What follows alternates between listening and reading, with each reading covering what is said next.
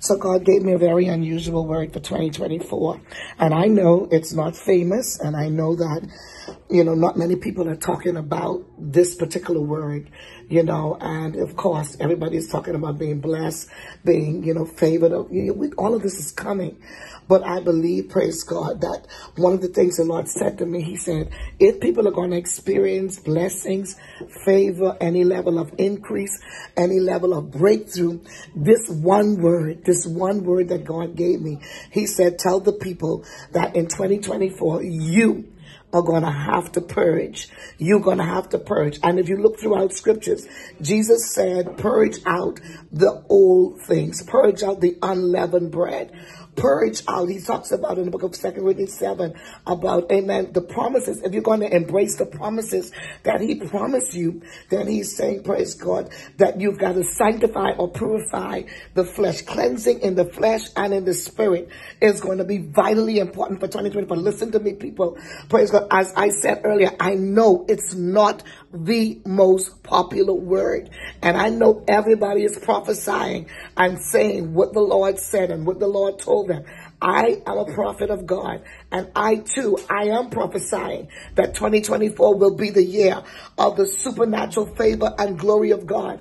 But none of these favors, none of these blessings are going to come in into play unless you as an individual is ready to position yourself in a place of purging, in a place of prayer and fasting. And so the Lord spoke to me. He said, it's time to get into covenant relationship. Go back to the covenant that God made, that you made with God, that you was going to serve him and that you was going to live holy before him.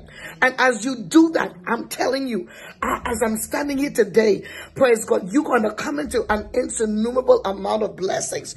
You're going to come to praise God so much, amen, unbelievable, praise God, favor and goodness from God. But it's going to start with this one word, this one word, this one single word. And that word is going to be purge, purge, Purge out the dead works. Purge out your old works. Get stuff out of you that you know God is not pleased with.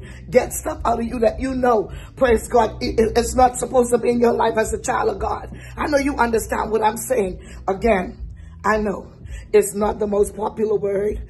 And I know everybody ain't doing it. But take my word today, beloved. Do it. Do it. Begin to purge.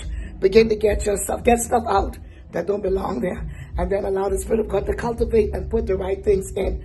And you will see 2024 is going to be the beginning of one of your greatest years ever and for the rest of your life. So I'm praying for you. Go to my website, get some more details. Join the Purge Revolution. Join the Purge Revolution. Time of covenant fasting and consecration before the Lord. What you do will determine, amen, at the beginning will also determine how your end is going to be. I love you and I'm praying for you. May God bless you. Have a good one.